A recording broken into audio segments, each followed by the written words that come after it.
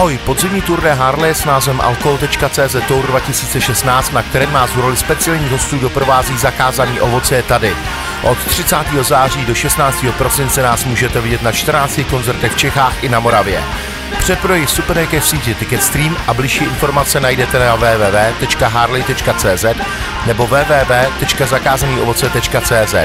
Těšíme se na vás na koncertech Zakázaný ovoce Harley a vy.